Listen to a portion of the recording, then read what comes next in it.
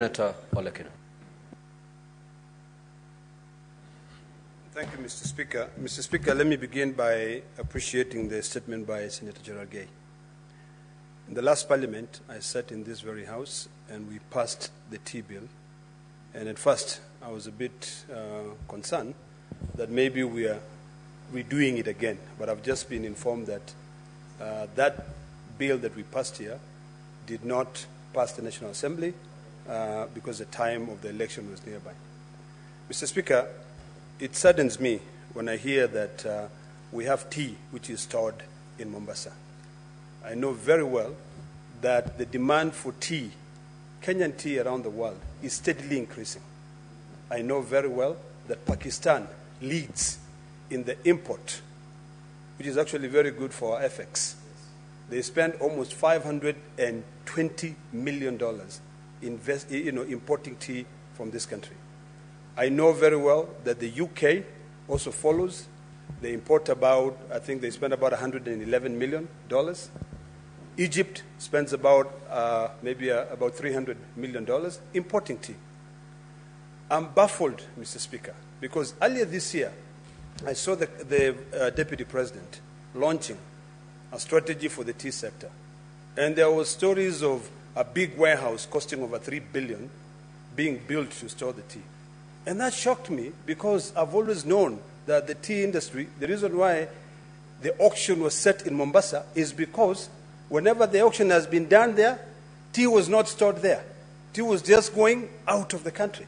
So I think it is imperative that the current, the new cabinet secretary in charge of agriculture should actually look at this issue. And the committee should look at what the previous cabinet secretary did. Because I remember the previous cabinet secretary, former Senator Linturi, went to Pakistan, had bilateral talks with the Pakistan government on in terms of increasing the uptake of tea from this country. So what happened? So instead of just picking up from here uh, and moving on, we should look at what happened so that it ad- advises our future. Secondly, Mr. Speaker, when it comes to the issue of legislation, I hope that uh, when we pass this tea bill this time around, it is not going to be reactional. And then next time again, because of certain specific interest, you know, we now again come with other amendments. Let us now exhaust any form of amendment so that we can be able to make laws which will be able to stay and, you know, live in this world for the rest of uh, God's creation.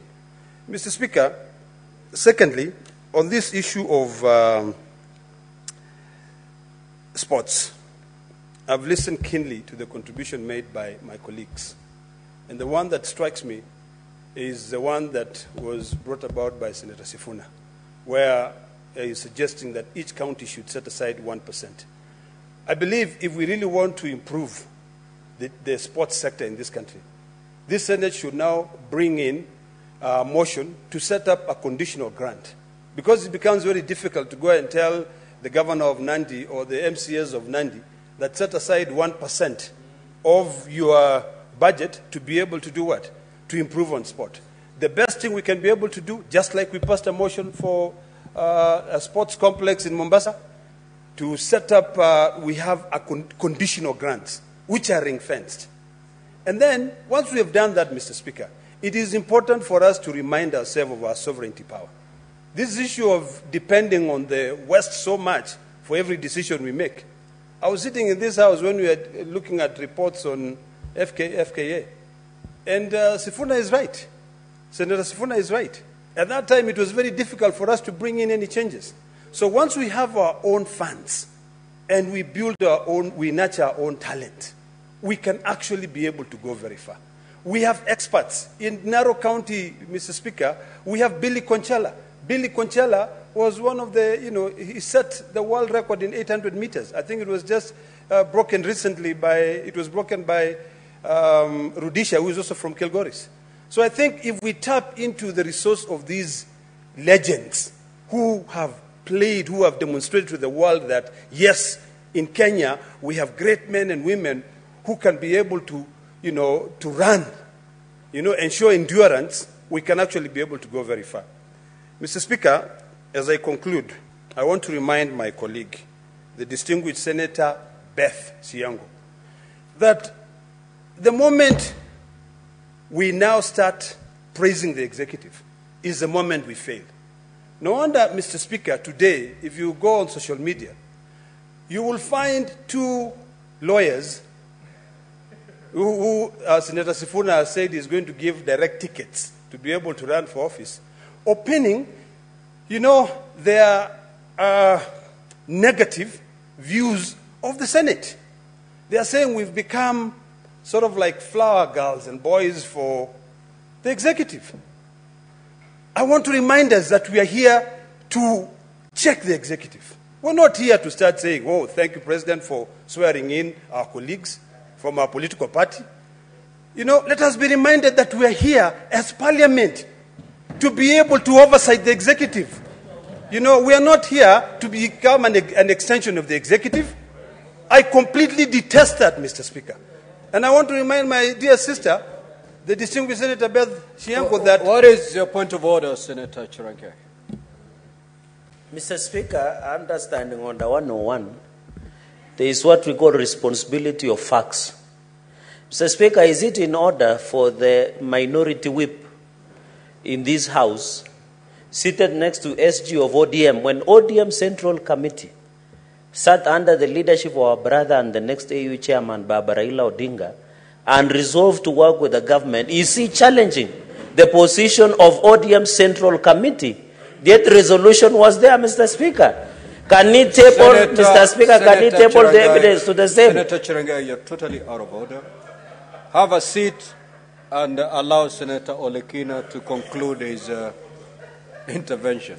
Mr. Mr. Speaker, you know, I'm in this House to ensure that we respect the separation of powers. I'm in this House to ensure that we respect the rule of law and the Constitution. Mr. Speaker, when I was sitting here, and I'm, I'm going to now deviate from encourage, you know, advising my sister, you know, I sat here and I received a supplementary order paper. And in the supplementary order paper, order number eight, Mr. Speaker, talks about amending the division of revenue. Mr. Speaker, I've been in this Senate for the last seven years or so. And by the time we pass the division of revenue, there is a process. We start with, uh, you know, estimates, the budget policy statement, we go to medium-term debt strategy, and then eventually we go and we pass the division of revenue. We did that. Why are we reinventing the wheel? Mr. Speaker, let us just for once respect the rule of law. You know, I sat in this house, very house, and we actually passed the third generation formula, which deter- determine how much money is sent to counties and how much money is maintained. We set a bare minimum. Now, what we are being asked to do is to now go against the Constitution. You know, I mean, this is ludicrous. You know, there's no time, Mr. Speaker, that we've actually even, the money that we've passed has all gone to counties. Treasury has always had a debt. So I think when we talk about these issues, let us be factual and let us remember that we are guided by principles. We have the rule of law. You know, the moment we start now opening the division of revenue debate, we're actually going to be abdicating on our duties. You know, then at that point, I'll just tell us, let us just fall and go. Because if you're telling us that what we passed here, 400 billion, we are now being told to reduce. We forget that when you look at the division of revenue uh, uh, bill, or rather act, if you look at section 5 of that, it says any shortfall is absorbed by the national government.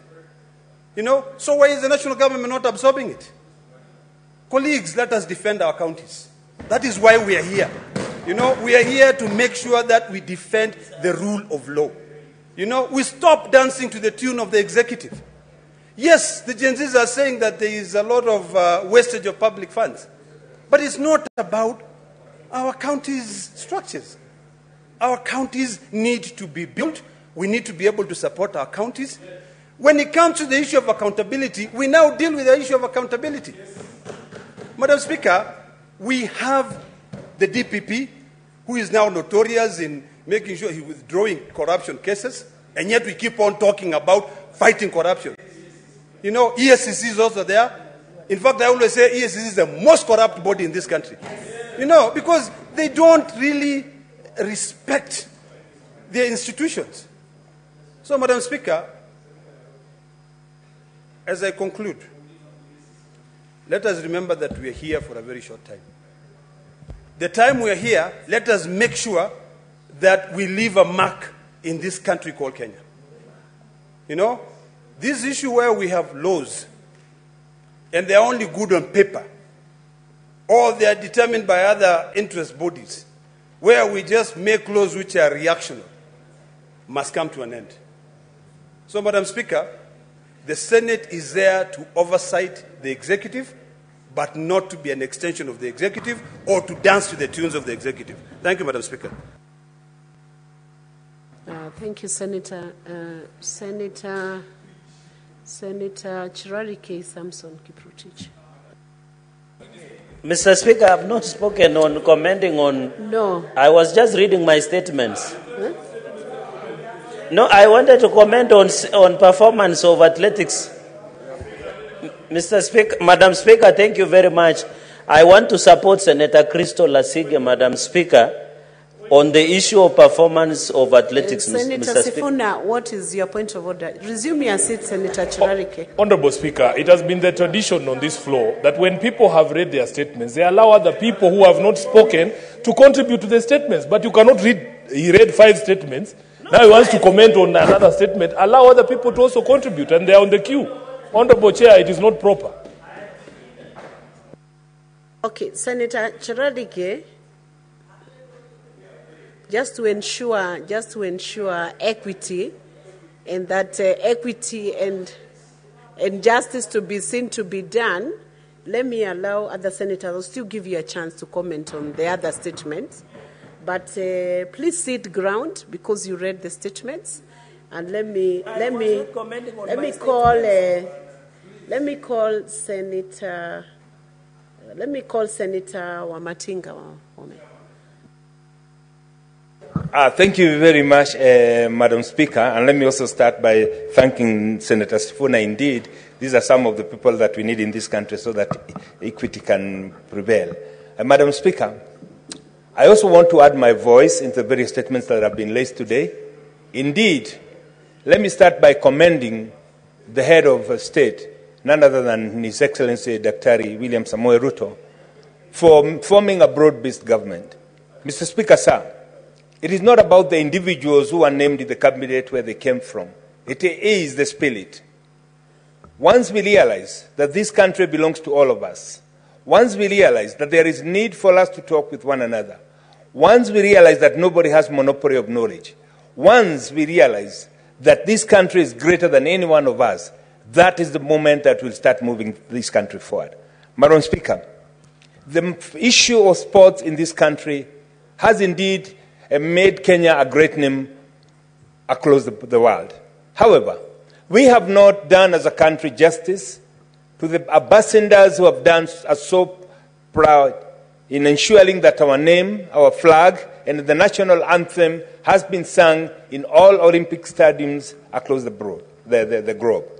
And therefore, Madam Speaker, I, was to, I want to concur with my colleagues that it is the high time that we invest a little bit more in sports, but most importantly, we must come up with a policy. And I do agree that it is the high time that we start considering giving counties conditional grants so that we can ensure that they invest in sports. And that, Madam Speaker, should not stop there. We must come with a kind of a blueprint on how it should be implemented. Madam Speaker, we know that different counties are endowed with different resources, and that also goes for the sports. And therefore, Madam Speaker, it is imperative that we start exploring avenues that we can give the young people who have those talents an opportunity to be able to compete in international arenas. That can only happen, Madam Speaker, if we put the equipment and the resources in place that will enable them to compete with their colleagues in other countries. Madam Speaker, the issue of tea, coffee, and milk, as has been said here, Madam Speaker, I sit in the Agricultural Committee, and the attempt by the committee to ensure that we revive that sector by formulating bills and amending the laws that are there have not been very, very successful because we as a country have now started concentrating on non-issues and leaving issues that affect our people that are more important. The issue of coffee, Madam Speaker, the issue of tea, the issue of milk. When we were campaigning around this country,